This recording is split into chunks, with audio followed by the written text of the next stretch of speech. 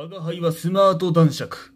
すべてをスマートに片付けるため、この地球をスマートにしに来た。待て、弟。あ、兄貴。なぜここが分かったんだ？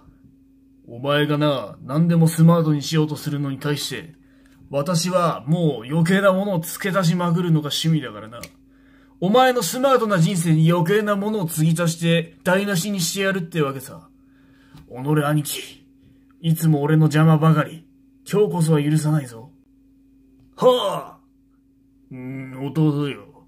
私の顔を蹴ったところで頑丈な石頭には効かぬわ。うん。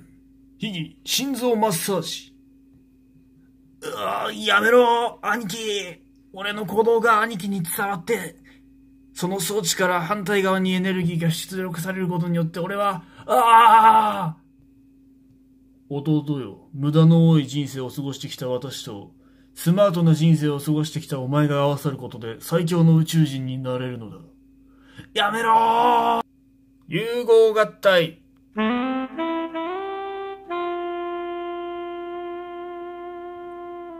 バランサー星人剣山弟、これで私とお前は一心同体だ。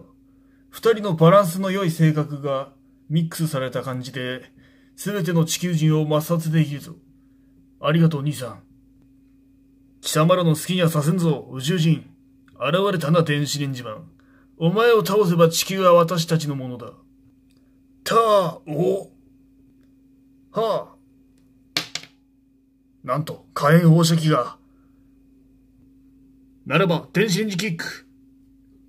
そう来るのは分かってるぞ。よっと。ば、バカな。はっはっは。バランスの良い二人が合わさったからな。いや、二人が合わさってバランスが良くなったから、攻撃も防御もバランスよくできるのさ。覚悟何？バカな、バランス星人が真っ二つに。誰だあんた？拙者サイバー忍者山影。この大都会、池袋を守りに来たでござる。バカな。この星を守ってるのはこの電子レンジマンのはずだ。なぜ、いきなり？まあ良いではないか。共に宇宙人どもを滅ぼすでござる。よくわからんが、俺の立場が危うくならないならいいだろう。共に戦おう、山影。新たなヒーロー、サイバー忍者山影が電子レンジマンの仲間に加わった。バランス星人のやつが敗れたか。